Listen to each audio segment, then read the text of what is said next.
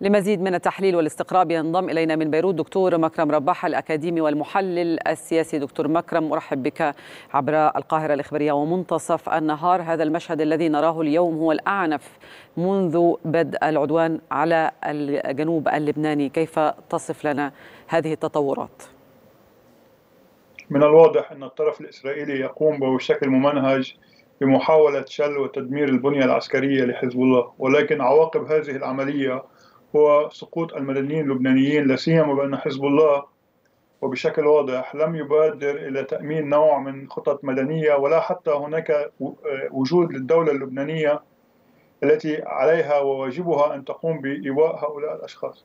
فيما يتعلق بهذا التراشق الصاروخي بين إسرائيل وبين وبين حزب الله أعتقد بأن لا يمكننا المراهنة على أن القدرة العسكرية والصاروخية لحزب الله تستطيع أن تستمر فمع تعاقب الأحداث ومع تعاقب الأيام أعتقد بأن حزب الله يتكبد خسائر عديدة لا سيما بأن الإسرائيلي يقوم باستهداف ليس فقط مخازن الأسلحة بل كذلك الورش التي تقوم بتصنيع منصات الصواريخ.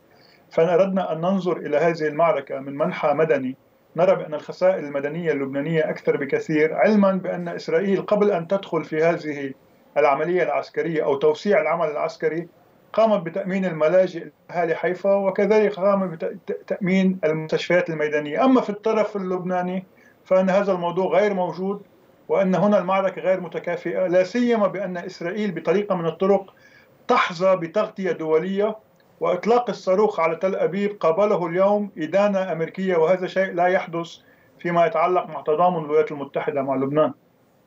نعم كان هذا سؤالي يعني الإدانة الأمريكية لمجرد إطلاق يعني صاروخ من قبل حزب الله وهو قادر واحد وفي العديد من الصواريخ والمجازر كما نقلها إلينا مراسلين في الجانب اللبناني كيف يمكن تحريك المجتمع الدولي من أجل إيقاف هذا العدوان؟ أعتقد بأن من الصعوبة لا سيما بأن المحاولة الفرنسية والمحاولة القطرية والمحاولة التركية إلى التحدث إلى حزب الله وإقناعهم بدخول في المجرى الدبلوماسي. أعتقد هنا يجب على المشاهد العربي أن يعي بأن الموضوع هنا لحزب الله وللشعب اللبناني ليس قتال إسرائيل. هناك اتفاق على موضوع دفاع عن لبنان وعن الأرواح اللبنانية. ولكن المشكلة الأساسية بحال أعلن حزب الله خسارته أو قبل حزب الله بالجلوس والتكلم بدبلوماسية سيكون لها عواقب داخلية.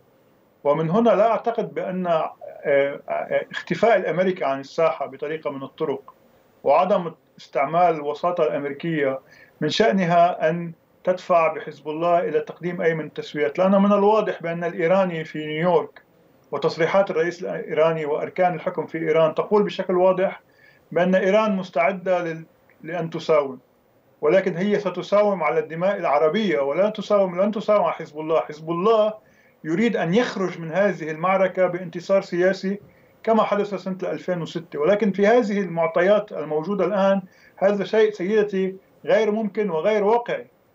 لماذا دكتور مكرم غير واقعي؟ يعني ربطت ما بين تموز 2006 ومعركتها وما ما يحدث الآن يعني لماذا في الآن هو أصبح من وجهة نظرك غير واقعي؟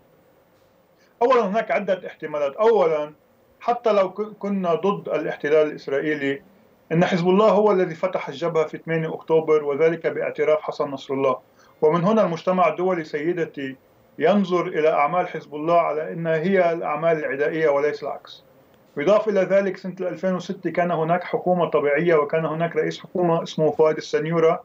كان يحظى بنوع من دعم غربي كون خصومه في السياسة لا سيما حزب الله كانوا يعتبرونه غربيا وامريكيا. في هذه المرحلة بالذات مع نجيب ميقاتي والحكومة التي هي حكومة تصريف أعمال وعدم وجود رئيس جمهورية للبلاد تجعل أن التفاوض لا يحصل مع لبنان الذي يستطيع كلبنان الرسمي أن يؤمن غطاء للمقاومة بين قوسين ولعملها. أما الآن نرى بأن حزب الله هو الذي يفاوض باسم لبنان وحتى إلى درجة معينة يحاول أن يفاوض باسم إيران. وما حصل ب 7 أكتوبر وما يحصل بالعالم من حرب في السودان وحرب في أوكرانيا يجعل المشكلة اللبنانية هي أحد المشاكل وليس المشكلة الأساسية كما كان سنة 2006 أشكرك دكتور مكرم رباح الأكاديمي والمحلل السياسي كنت معنا من بيروت.